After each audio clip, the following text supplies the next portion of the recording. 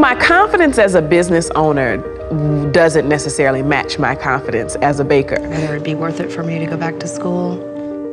What would be the biggest motivation for someone to do good?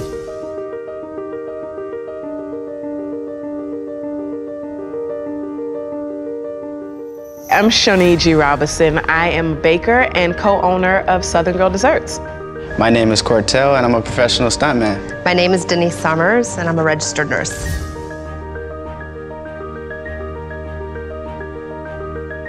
Bikes Over Banging is a nonprofit organization that was started for the purpose of redirecting the inner city youth away from gangs and gang activity. Southern Girl Desserts is actually one of Los Angeles' premier Southern-inspired bakeries. I am a compassionate, caring person. At the end of the day, when I go home, I feel like this is what I was meant to do. In terms of being a business owner, it, you know, that part is still in the works.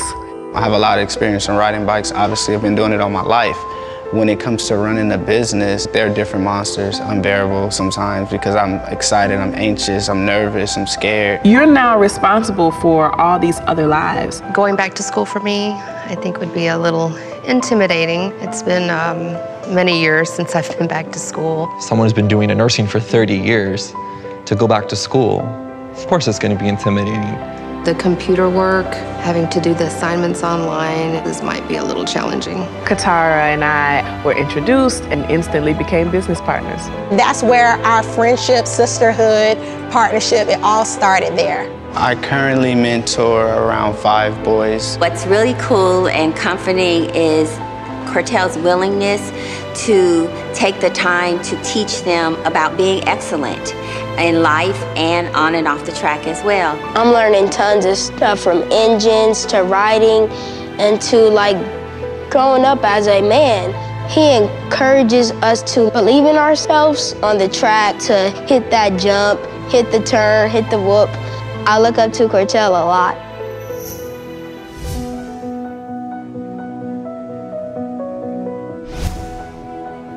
She is a successful entrepreneur living out her dreams through her passion. Oh my God, I'm gonna cry. Teaching kids that there are other ways. Don't be afraid to go back to school. Your sister, Liz. Sometimes you get so caught up in the now and don't realize that all that you've accomplished. And I think anybody can be, uh, their confidence can be boosted if they can just think back on how far they've come. I felt like I needed to pay him back for everything that he did for me. Cortel's attitude towards us is what makes him special. You just never know who's watching you and you don't know what you're doing means to someone else. Changes my perspective knowing that everybody has the confidence in me gives me a little boost. I have a lot more confidence now with the reactions of the people around me to bring me a lot of reassurance.